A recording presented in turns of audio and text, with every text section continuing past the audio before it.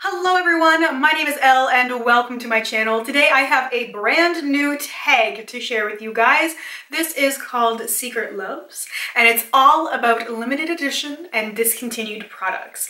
Those secret things that we sometimes don't talk about as often as we should. So I am collabing on this with my dear friend Heather from Love Heatherette. She was the first person to come to mind when I thought about bringing this tag to life because she's always talking about her limited edition and discontinued products and I figured she would love talking about them a little bit more.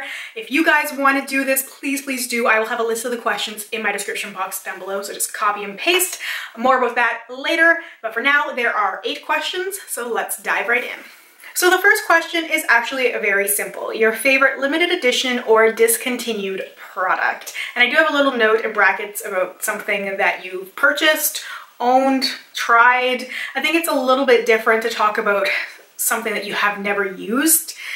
Uh, just my personal opinion, do what you want. These tag videos are, you're free to change them in whatever way. But for me, I wanted to talk about something that I really truly love and that has to be Urban Decay's Road Stripe eyeshadow. So this was part of Urban Decay's original collection, like back when they first existed in the 90s. And it's been in a couple of palettes since. I had it in the Vice LTD, which is where I fell in love with it. It's also in the Vice LTD Reloaded. And then they released like a little capsule collection that's like very limited edition of those original shades. And Road Stripe was one of them. So I have one and a backup because I really love this shade. It's just the violet blue duochrome that completely transforms eye looks. I love using it as a brow bone highlight and an inner corner highlight. It really is the 90s cool girl sort of highlight. It is my favorite eyeshadow hands down. So of course this had to be my favorite. If you want to talk about more than one product, go for it. Fill your boots, as my mother would say, and just have fun with answering these questions. But I really just wanted to stick with one, my all-time favorite limited edition discontinued product because it's kind of been both. The second question is the opposite of the first one, your least favorite limited edition or discontinued product. So this was a little bit difficult for me because I don't tend to hang on to products that I really dislike. Um, but one of the things that came to mind was this palette that I still have, and this is the Star Studded palette from Kat Von D from a holiday collection from a few years ago. Um, it's incredibly lackluster, so I have a bit of a hard time holding it up because one of the shadows is broken. Um, I did depot a couple of shades, but these eyeshadows are so patchy, they're very sheer, they're just not Kat Von D quality. Um, this was one of my first introductions to Kat Von D eyeshadows and it was just not great. Um, the other things I've tried from her collection have definitely been so, so much better and I've been just so much happier with that the Star Studded is just so disappointing that it has to rank as one of my least favorites. The third question is, was there a collection that got away? So you could also talk about a specific item if there is an item that got away, but for me, there is a very, very specific collection that I always think of, and it's a really old collection, and I didn't realize it till I was looking it up to answer this question. It's from 2010.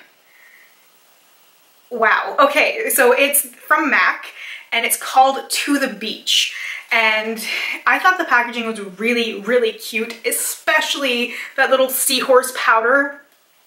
Oh my god, I just wish they would bring that back because I'd buy it. I don't even care. I probably would never use it. It's just so beautiful. I would just want to have it to collect and like put out on display. I love seahorses and I just thought that was so beautiful and it was sort of around at a time when I wasn't that into makeup. I do believe I saw it in person. I want to say that I was in the mall and I saw it and it was just one of those things that was like too expensive for me at the time and I just couldn't justify it and now I totally would. I absolutely would. So that, that for me is the collection that got away.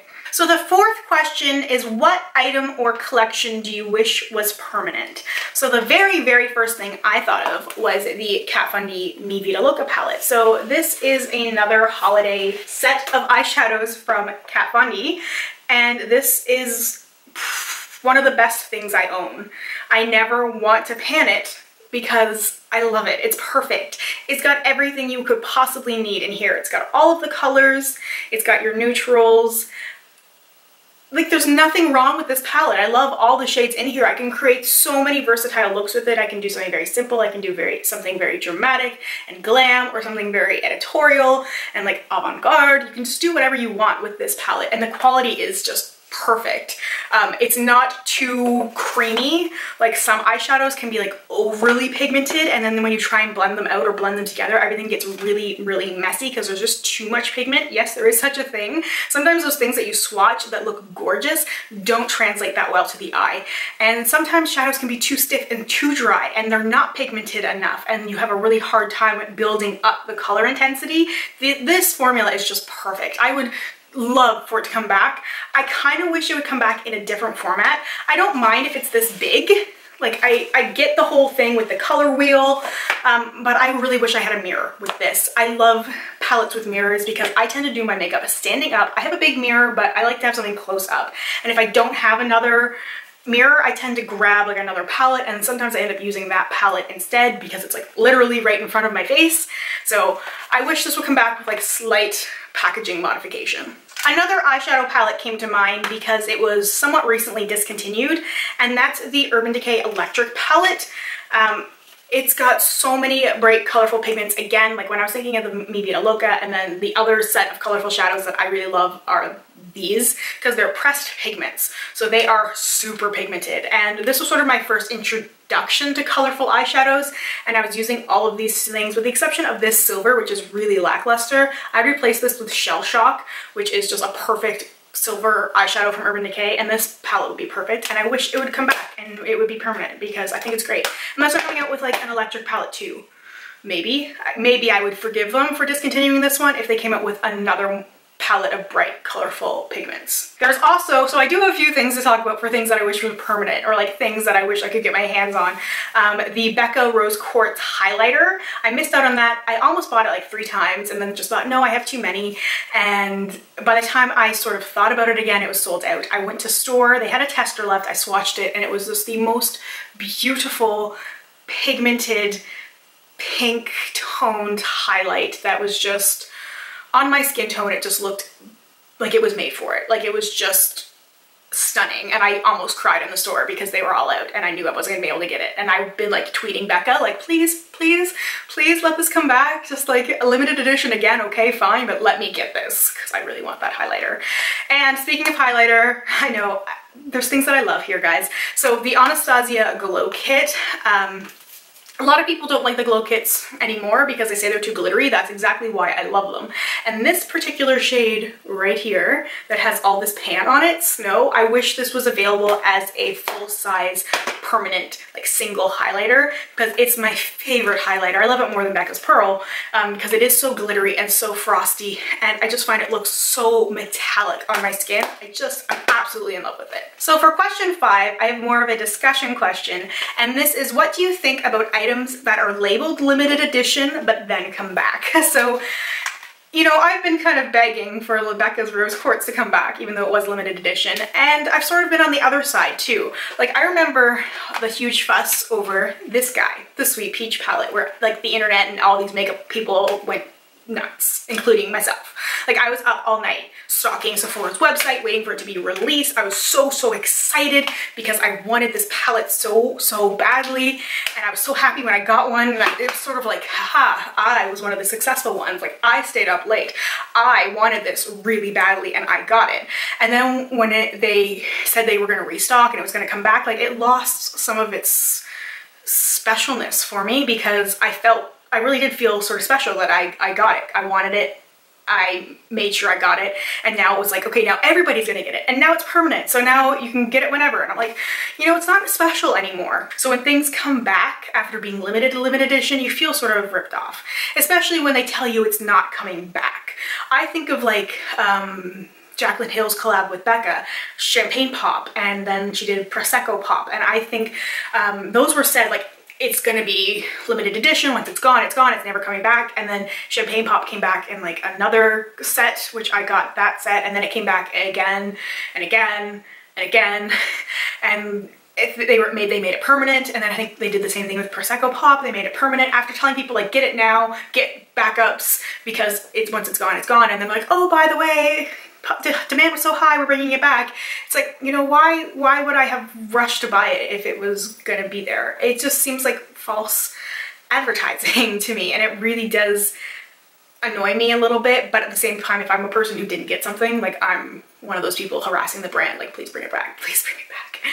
So, you know, I can kind of see both perspectives on it. So there, you know, there's the good and the bad about something that was limited edition coming back either for a restock or permanently. The sixth question is what do you think about brands reusing shades?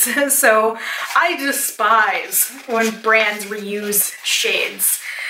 Urban Decay is terrible for this. I have a few shadows that are repeated multiple times in limited edition palettes, but it's the exact same shadow.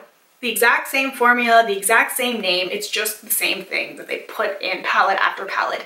And I want something different. You know, every now and then I might get a duplicate of something that I really love, like in the case of Road Stripe, that was in two palettes, so I lucked out there because I like it. But for somebody who didn't like that shadow, that's a waste for them. Like, come on guys, come up with something new. Don't put the same old thing in every palette or, or like just change the name because we're not dumb. You know, we can compare swatches and we're gonna realize, hey, this is the same product with a different name. Like, don't do that to us. Um, I do like when brands respond to their consumers' love for a specific shade and they release it as singles, because Urban Decay did do that with a few of their shades. Um, Anastasia did that as well. I know there's a couple of shades from the Modern Renaissance palette that are being released as singles or have already been released as singles. I like when brands do that because it's like, hey, we heard you. Here's this single that you really liked. Um, but it's not like, oh, okay, you know, Modern Renaissance 2 is gonna have, you know, love letter in it again or something like that. It's because it just gets so repetitive for people who want to have them all. And it just seems like such a waste because not a lot of people are going to use all of them. So many people are just gonna have it sit. The seventh question is what do you think about holiday collections? So I love holiday collections in general. You get a little bit of everything. You get some of the best and some of the worst. Some of my favorite products and some of the things I've already talked about like the Mi Vida Loca palette and the Anastasia Glow Kit, those things were all holiday releases. But then the Star Studded palette was a holiday release that was a fail. Some things are really good and some things are really bad. I also don't get the timing of holiday releases. Like they're releasing them earlier and earlier every year. I remember when it used to be around October-ish, which was still somewhat early for me, but reasonable because, okay, you know, you're thinking middle to end of December, Christmas time, there's other holidays as well. You know, November, okay, it gives you a little bit of leeway to like figure out what you want. And now it's been like September, August, July. Like you, can you really call it a holiday collection if you're releasing it in July?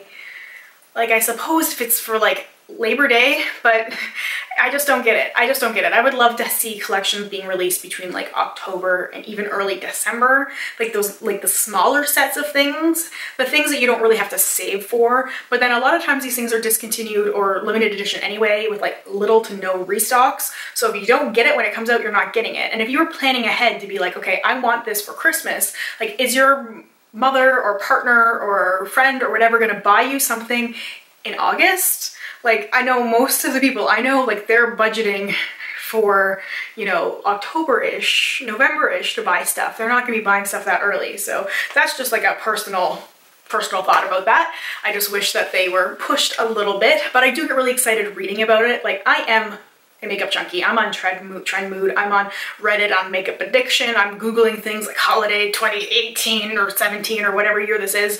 Like what is coming up, I'm like making lists already. I like to make a list first as soon as I see everything and then sort of think about it from there. Cause I like when they give you those sneak peeks early as opposed to just being like, bam, it's released, go. And you're like, what? I don't have time to think about this. Do I want this? Do I not want this?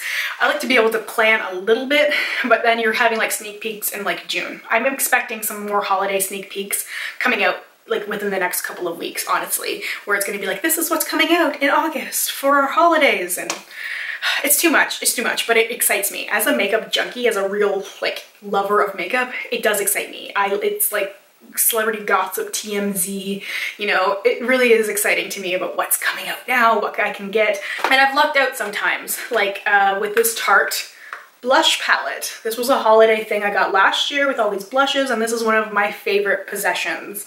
I love this so much because it's got such a range of blushes. The Tarte blush formula is fantastic.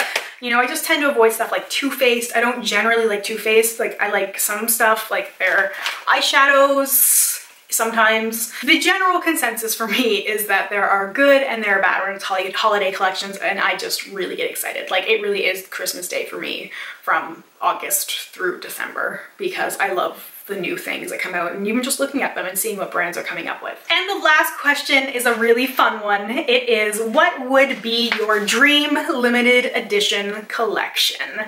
So for me, this should be pretty easy to guess. Um, if you've watched my videos before at all, you would probably know something that I would want to buy every piece of if it was available as a collection. And it would be a Fleetwood Mac collection. I am dying for one. I want one so badly.